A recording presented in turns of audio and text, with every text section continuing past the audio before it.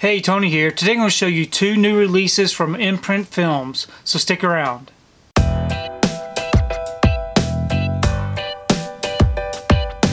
So I recently received two new titles from Imprint Films from Viavision and I wanted to take time today to show you what they look like. Um, first up we have Body Parts. Here's the front and here's the back. I'm going to go ahead and remove this from the wrapper so we can take a closer look. Okay, I've got the wrapper off of this one, so let me give you a closer look at the packaging with the special features. Lots of special features is what I really do enjoy about some of these titles. Um, but it does come in this nice looking slip box. And then we can just remove the disc from it. And we have our Blu-ray case with some different um, artwork. And here's the back. Then we open it up and we do have our disc art for the Blu-ray disc. Really nice looking artwork. This is imprint number 89. And then some inside artwork. And then next up we do have Stir of Echoes with Kevin Bacon. Here's the front and the back.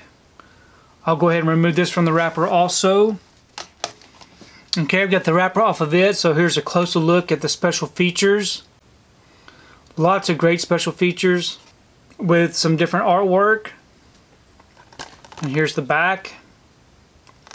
Then on the inside, we do have some disc art. This is imprint number 91.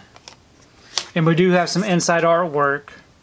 So I really am enjoying all of these imprint titles that I've been adding to the collection. Um, it's nice to have some of these titles that we don't have here in the US um, released on Blu-ray already. I know I've seen Stir of Echoes before on DVD, uh, but I don't believe it's ever had a Blu-ray release, and I've never seen Body Parts, so I'm definitely looking forward to checking that one out. So here are some screenshots of the disc menus um, for each of these if you would like to check both of these out. Um, lots of special features. So these are both region-free, um, so you should be able to play them in any of your Blu Blu-ray players. And here's also some screen um, captures of the disc menus if you'd like to check those out.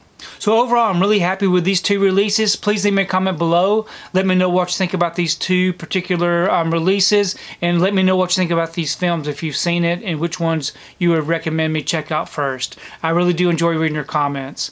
If you like what you saw here today, please give it a thumbs up and share the video. If you haven't subscribed to my channel, I really appreciate it if you'd subscribe. If you do subscribe, please remember to hit that notification bell so that you can be notified every time I upload a new video. If you haven't found me on my social media accounts, I'm on Facebook, Twitter, Instagram, and on TikTok. And if you'd like to find out what I've been watching, you can find me over on Letterboxd. I do have links below. But thanks again for watching, and we will see you next time.